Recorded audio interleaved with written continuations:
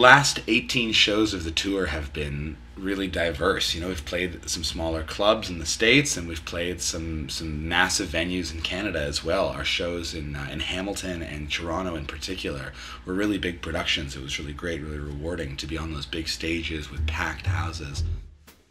Being on tour in a van with the band like this, you, you know, we're we're co-workers and we're colleagues uh, but we're also friends, and it's really important to have those moments where you can stop and throw a disc around and play some frisbee and cook and eat a meal together. We're on day 21 of the tour as of today.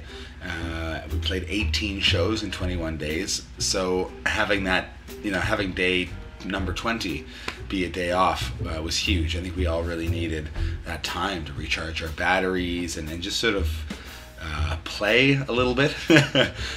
we brought a stove and, and uh, you know some some ingredients with us so that we can cook on the road, and that uh, you know really makes those days when you have the time to stop to cook, you know, so much nicer. It's so so good to be able to get some really good nutrition into our bodies, especially especially with this schedule. This is a neat moment of transition in the tour. Coming up is a run of 13 shows in a row, so having that day off to recharge and get set to get ready to go kick some ass for 13 days in a row in 13 different cities uh, is great. You know, it's it's it's a lot to bring this circus from town to town. I think for me, getting on stage is my moment of recharge, and I sort of go into a trance where the only thing that exists is the show.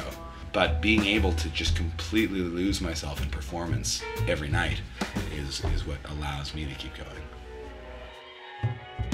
I don't know. I, I, just love playing music, and I, I, love having the opportunity to connect with all of these different audiences. And uh, if it means reloading the van multiple times per day, then so be it. I just hope that most of the venues don't have too many stairs.